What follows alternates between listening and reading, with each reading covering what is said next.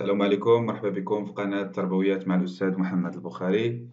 الفيديو ديال اليوم عنوانه تواريخ ومواقيت امتحانات الثالثة إعدادي والسادس ابتدائي.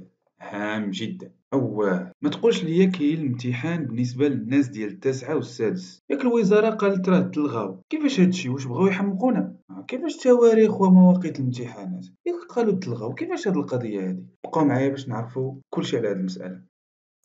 هل فعلا تلاميذ الثالثة إعدادي والسادس ابتدائي سيجتازون الامتحان؟ واش بصح الثالثة إعدادي والسادس ابتدائي غادي يديروا امتحان؟ الجواب هو لا لماذا؟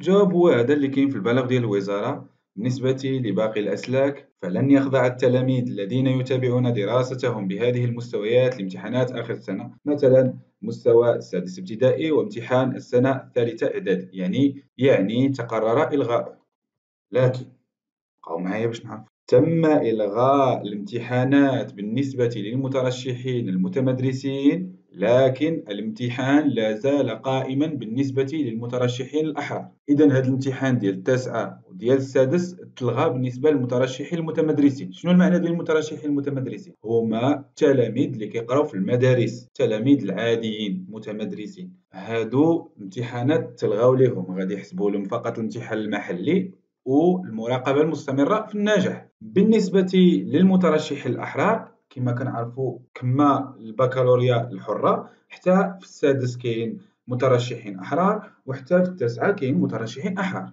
إذا بالنسبة لهاد الناس هادو راه الامتحان لا زال قائما. يعني غادي يدوزو الامتحان. ما غيتعتبروش ناجحين بناء على شي حاجة ديال المراقبة ولا شي حاجة. نو غتعتبروا ناجحين فقط باجتياز الامتحانات الإشهادية. اذا هاد الناس هادو مترشحين الأحرار باقين غادي يدوزو الامتحان. ها هي ال calendrier ديال الامتحان. اذا هنا مواقيت امتحانات نيل شهادة الدروس الابتدائية. ها هي. الدروس الابتدائية. نهار اش؟ نهار 25 شتنبر. و26 شتنبر شنو هو 25 شتنبر 25 شهر 9 وهنا 26 شهر 9 دائما بالنسبة للمترشحون الأحرار. هنا مواقيت امتحانات نيل شهادة السلك الإعدادي. حتى هي 25 26 28 إذا بالنسبة للناس ديال الإعدادي عندهم 3 أيام. بالنسبة للسادس عندهم فقط يومين.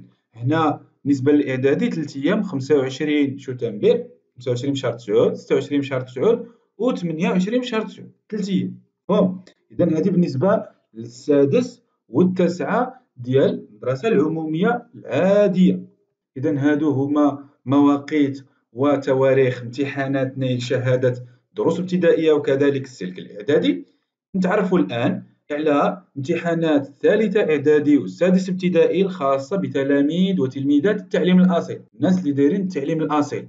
فهم التعليم الأصيل كذلك كنتكلموا على المترشحين الأحرار ما كنتكلموش على المترشحين المتمدرسين دائما كنتكلموا على المترشحين الأحرار. حتى هما عندهم الامتحان بنفس التوزيع ديال المترشحين العاديين. اذا عندهم 25 شتنبر 26 شتنبر بالنسبة للابتدائي و 25 26 28 بالنسبة للتعليم الأصيل.